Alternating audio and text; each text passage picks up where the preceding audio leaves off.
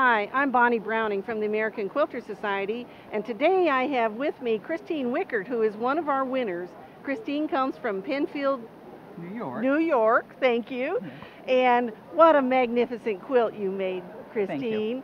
Uh, tell us a little bit about the making of this quilt.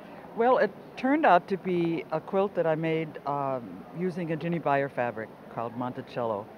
And it was a simple basket quilt, strippy quilt, um, and I used all of her fabric lines plus lots and lots and lots of my own fabrics.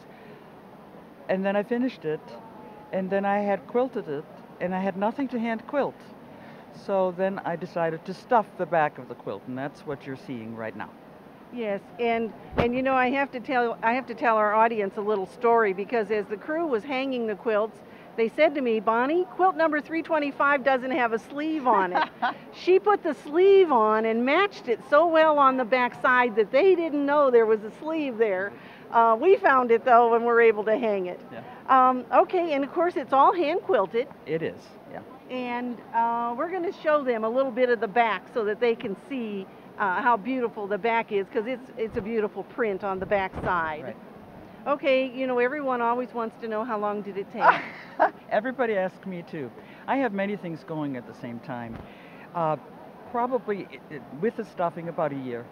a year. Well, and so that's probably about average for someone when they're making a quilt this size, right? I think so. I think Okay, well, congratulations, Christine, and we're thrilled to have your quilt here in the contest this year. And I'm thrilled to be here and win too. Okay, thanks. Thank you.